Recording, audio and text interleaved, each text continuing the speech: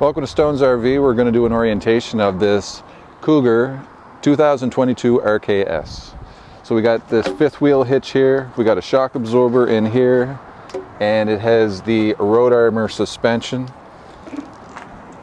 Under here we have the cable that will hook up to your towing vehicle, breakaway cable. Make sure that there's a charge in your battery when you're hooking up your breakaway cable. Under here we have docking lights, which are on the front.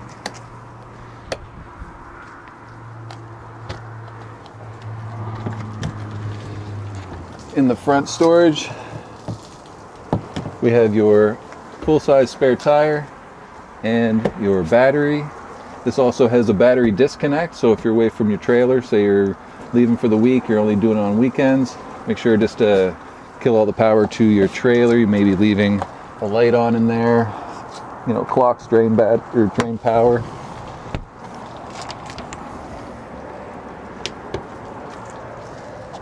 Another little light right there, the switch. This is equipped with two propane tanks and there is a valve in here that will show green when it is pressurized in the system when this, uh, when this propane tank runs empty, there's a little switch above that valve that you just switch over, turn on the other propane tank, and get the empty one filled.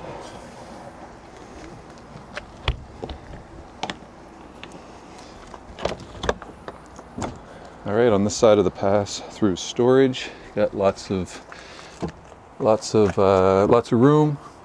It is uh, equipped with inverter prep if you decide to go with a bigger solar package. You got your power cable there. Here you'll see that it has the 200 solar package right now and that will trickle charge your battery. It also equipped with auto leveling system. So with this, just push power. Try to get your, your trailer as level as possible before you do this. And then just basically hold auto level and it'll just take a few seconds to auto, well, a few minutes to auto your trailer. So while that's happening, I'll show you this wet bar. In here we have a light, which is can be set to motion sensor. You got your outdoor shower, which comes with your hose. You have your winterization and your bypass heater. Um, got your city water connection here. You have your black tank flush here. You got your black tank valve and a gray tank valve. And all your cables and hoses can run up through this little spot right here. You also have your Key TV hookup. It's already wired for satellite, so if you get a satellite dish on the roof, you don't have to run any wires and you also have the option to hook up another outside solar panel. And all that will just run up through this this little hole here. I'll just leave that open. Here is your water heater. So this is run by gas and electric. Make sure that you have water in your water heater before you turn it on to check to see if there is water in the water heater just lift this little valve there, you can see that the tank is full.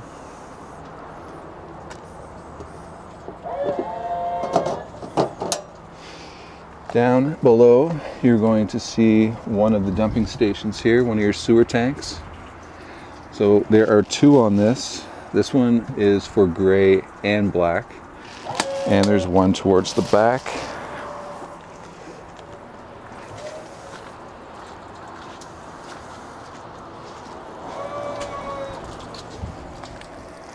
You'll see that right there.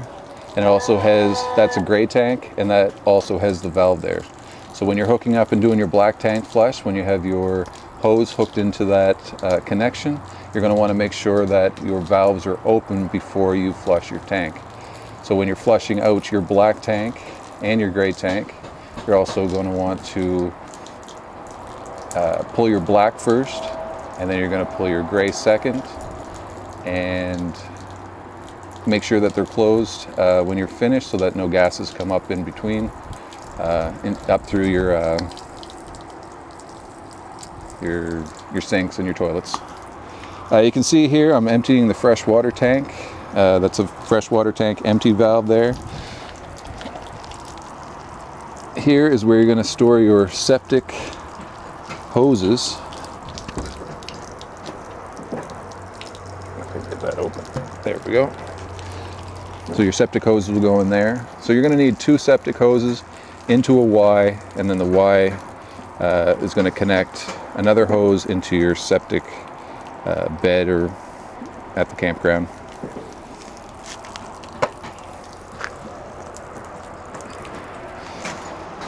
Let's see, here we have the freshwater connection or freshwater tank.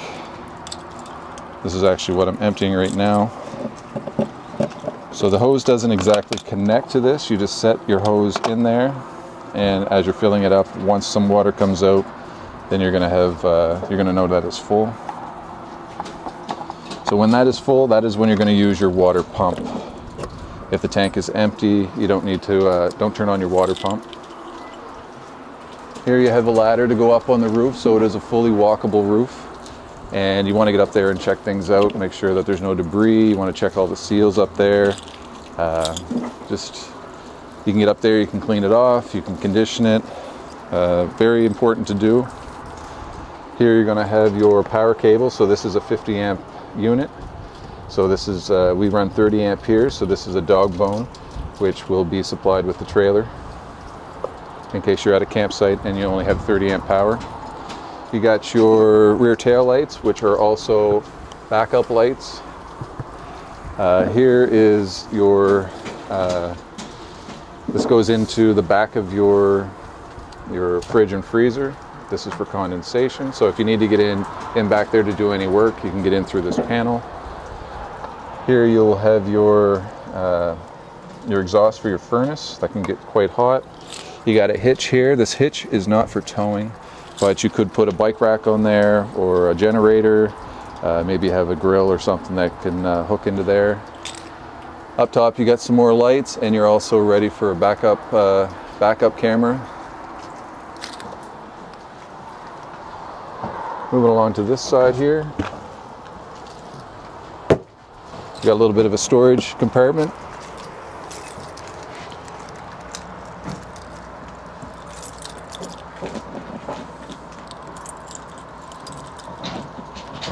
right here. We got your outdoor shower.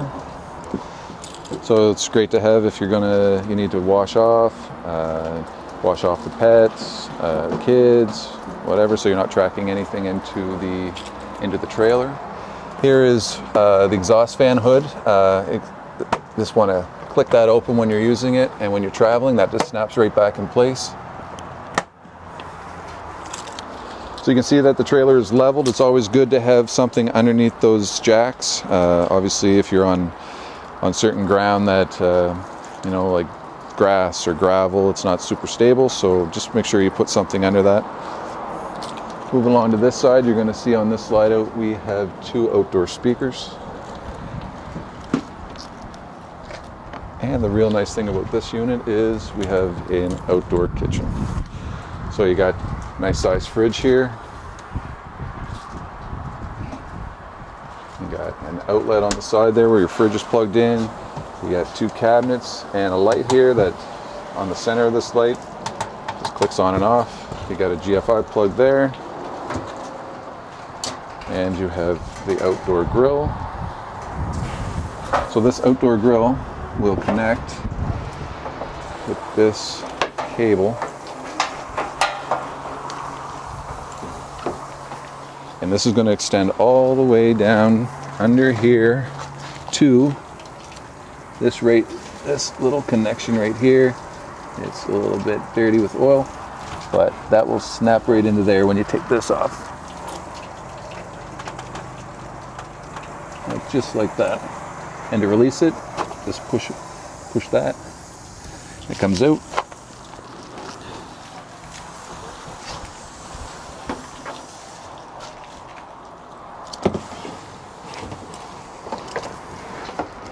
the stores away in there.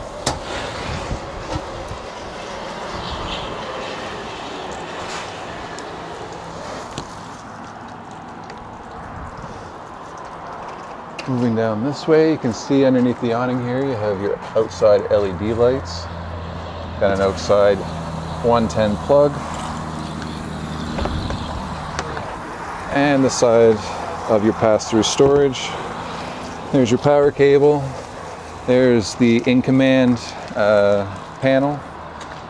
That's the brains to the uh, to the unit. You got another plug here. So any plug here with a yellow uh, inverter outlet. So if you extend on your package and you got like the 400 watt package, then uh, it'll run those plugs for you. So on this side is your second propane tank.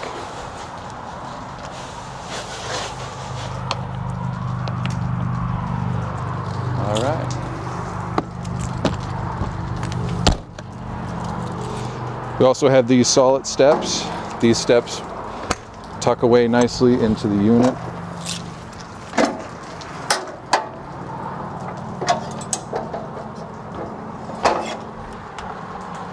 And you can see on these feet here, depending on the level of the ground that you're you're putting them down to, the pin comes out and these just adjust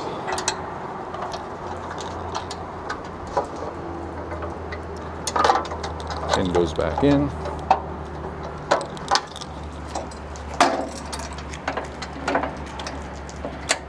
Snaps right in. Let's go inside, take a look. All right, so we're inside the, uh, the unit, the 29 RKS. You're gonna see here we got a nice double base sink and you have a little spray handle that comes down, extends. This covers over for a little extra counter space. Here you got your standard microwave with a turntable. Here's your hood fan and light. Here is your three burner cooktop. So it's covered by the glass. Do not turn on the burners when uh, when the glass is down. Don't try to cook on the glass. It's tempered glass. It will it will break when it heats. So to use the burners, your, propane, your propane is going to be on. You're going to turn on the uh, on the set burner that you want. Just give it a little click here. Burner comes on. It's a great way to get the air out of the lines. You'll notice here on the burner that when the burner is on, you get the red light. Even when the other lights are on, that will still turn red. To turn on the light in the oven, push down to number two. So you have your oven here. And to light the pilot light, you're going to use the oven uh, dial. You're going to turn it to the flame. You're going to push that in, and then you're going to click there, and you're going to hold it for about three seconds, five seconds, release. Pilot will stay lit, and then turn to the desired temperature.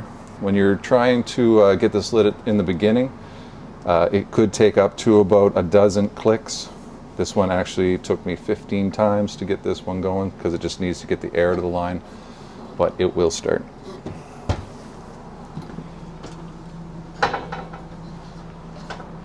Over here, you got some USB plugs and a switch, which will turn off the lights on the ceiling. This is another light with a push button in the center to turn that on and off. Here you got your fridge and freezer. So this is run off gas and uh, electric. So to turn this on, you're just going to hit the on and off. You're probably going to want to leave this on auto. So this is going to run on electricity while you're plugged in. And when you're not plugged in or you lose power, it will automatically go to gas.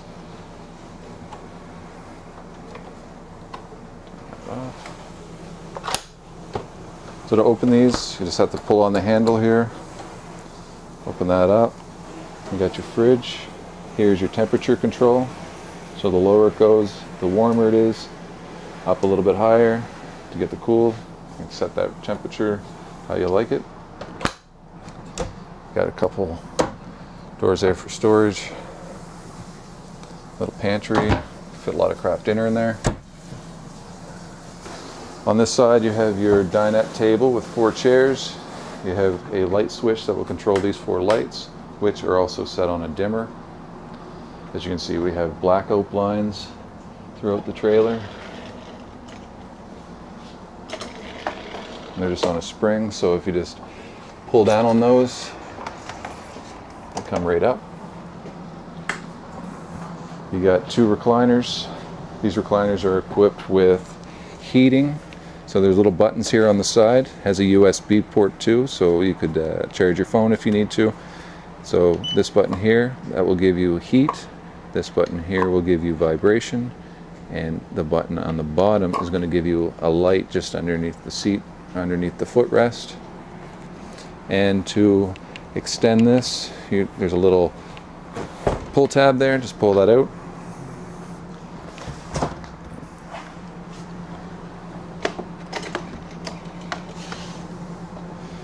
Here we have a sofa that will turn out to a bed. Super simple. You're just going to lift up on this, extend the legs down, and the backrest folds down like that.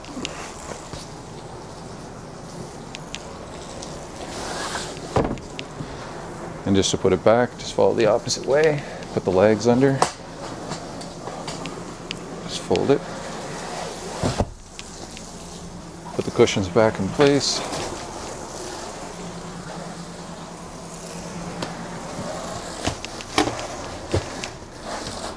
Got another light here with a push button. It's moving over, you got your television. This is a strap, so when you are driving, just make sure you keep that over the over the buckle so it doesn't damage your television. This television also will extend out and rotate. Push right back in. Down here we have the fireplace, electric fireplace. So you have your power button there. You have different uh, levels of light, different colors, and flame. So if you want some heat coming off this, you're going to push this button here, set to 74 degrees right now. That's going to put out some heat. If you want to adjust the temperature, it'll just go up to 82 and it starts at 64 and it'll just climb up. If you don't want heat on it, you just want it just blowing some air, just turn that heat off. And if you want to set a timer, it'll time up for one hour all the way up to eight hours and to turn it off just like that. So moving over to here we're going to show you the in command system. So to get the in command system you're just going to push the power button. So on the bottom here you're going to see your battery level.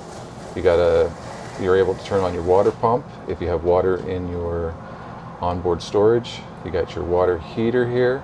If there's water in your water heater tank and then you got your interior lights. So you can just push that there. For and up here you're going to see the levels of your fresh tank your black tank and your two gray tanks. And uh, to get in your passcode on this will be one actually four zeros. So this takes us to the screen. So we have our HVAC system. So there isn't a front AC in this. So we're just going to move over to the rear so right now we do have the air, conditioning on. And so it's on cool, fans on high. This is where we set it to, 66 degrees. The zone is 71. It was 76 when I turned this on, so it is cooling the unit. If I want the heat, I just push that mode button and we get heat. The gas source, or the source is gas, and the fan is on high. This is where I would set up to probably about 71, 72, which is a good, uh, nice average temperature.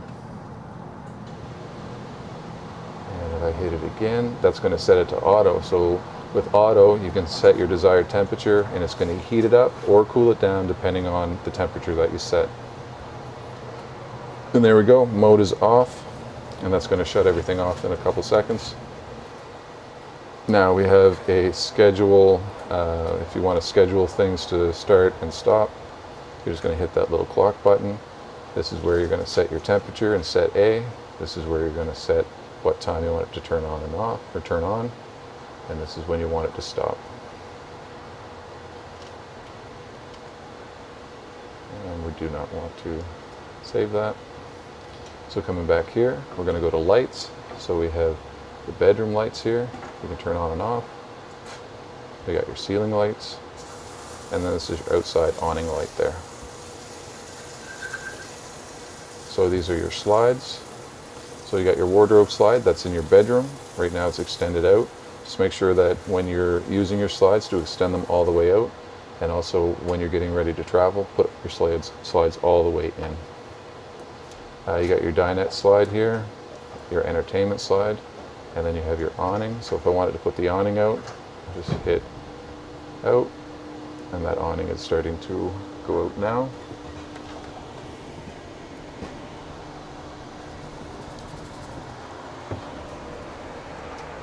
So you want to take that awning out to the point of, you see a little flap come down.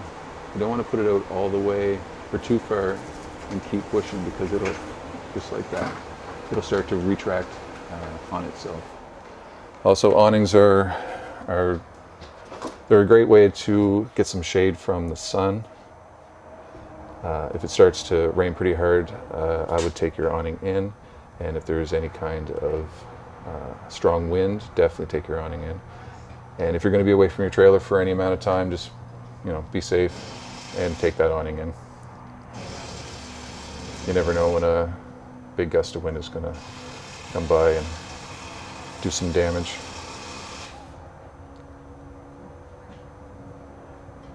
And there we go. All right, moving on up. We're in the bathroom. Here you got a porcelain toilet with a foot flush. So when you're getting things started, and you're all hooked up into your water, you're going to want to fill your toilet up just below the, the holes there, probably about, I guess, three quarters full. You're going to want to flush that four times and then drop your chemical in before you start using your toilet. You got glass uh, shower doors, has a little latch there to, to lock them in place. Just make sure that you lock those in place when you're towing your trailer. Uh, I got a skylight, uh, GFI plug, your little light switch is right there above that. You do have an exhaust fan, so you just twist that open. And there is a little switch here in the corner. That's going to turn on the fan to exhaust any, any uh, steam that the shower is creating. Lots of storage under here. Three drawers. Nice stainless steel sink with a faucet. And if you're looking for your toilet paper holder, it's right in here. And the door here, there's a little snap up here on, this, on the inside. And that is just going to close and hold there by magnets. There is no lock on this door. All right, let's move on into the bedroom.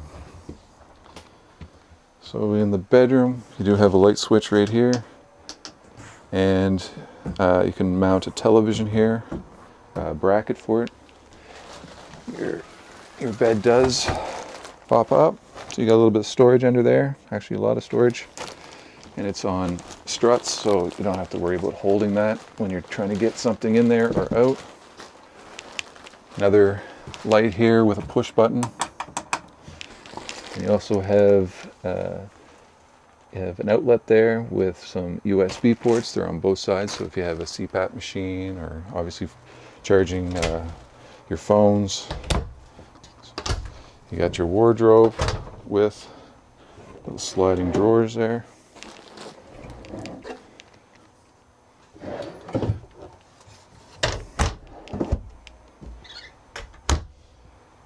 And you also have the little exhaust or uh, little vent hood there.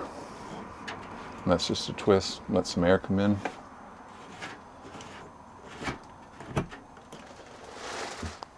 So yeah, that's everything with this uh, model. Hope you enjoyed our, uh, our orientation and have a nice day.